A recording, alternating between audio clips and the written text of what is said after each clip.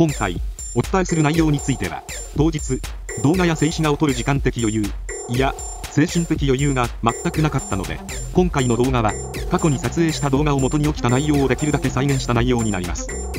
あらかじめ、ご了承ください。本来なら、こんな感じで、何の引っかかりもなく、スムーズに吹け上がっていきます。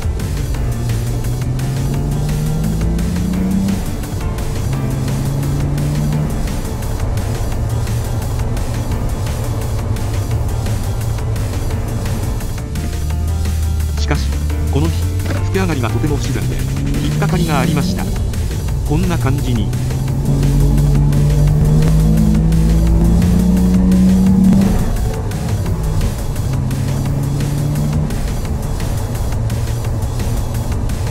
最初は路面からの突き上げかな。なんて思っていたら数分後にまた。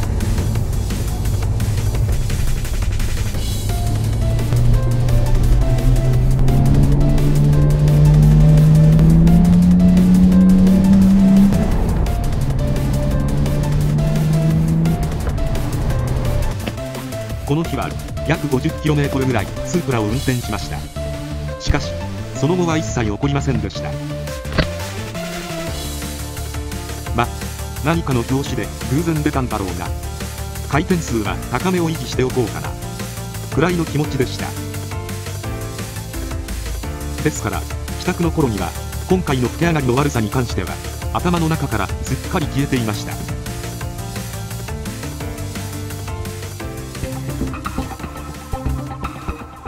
今回の乗車では前回起きた吹き上がりの悪さが一過性のものだったのか再現性があるのかを見極めるのが目的です。信号のないバイパスを数キロメートル走っていると再現しました。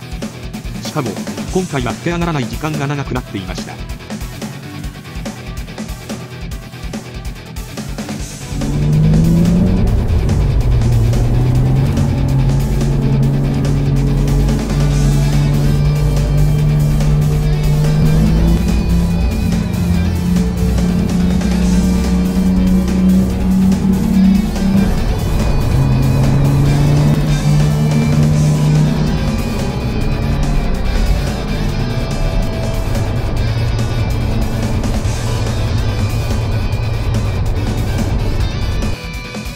ここまで来ると、いつも通りに走れないレベルです。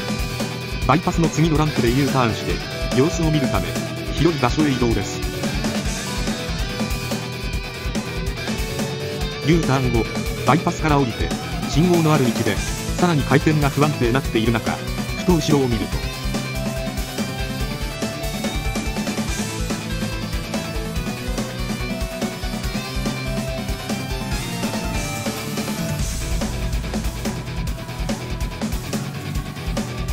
マフラーから青白い煙がもうもうと出ています。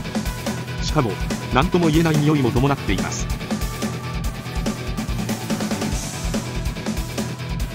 ここまで来ると普通じゃないレベルではなく一大事発生です。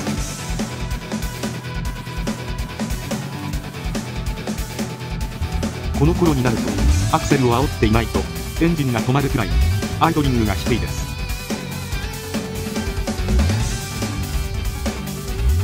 信号で止まるまではギアをニュートラルにしてブレーキを踏みながらアクセルを煽っています。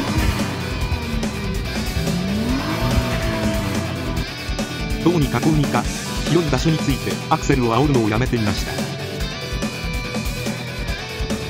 エンジンが止まってしまいました。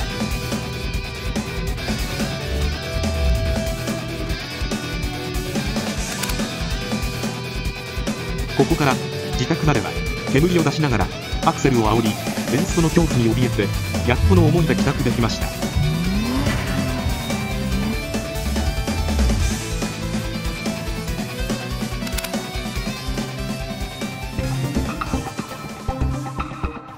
一大事が起きた当日は自宅までスープラを走らせることで頭がいっぱいでした。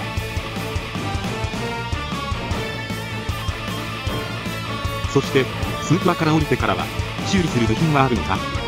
もしかしたら、このまま廃車？これで、スープラ終わり？たとえ部品があったとしても、修理代はいくら？まるで、人生の終焉を迎えた気分でした。冷静を装いディーラーに電話しました。症状を電話越しに伝えましたが一度実際に見ないとわからないとのこ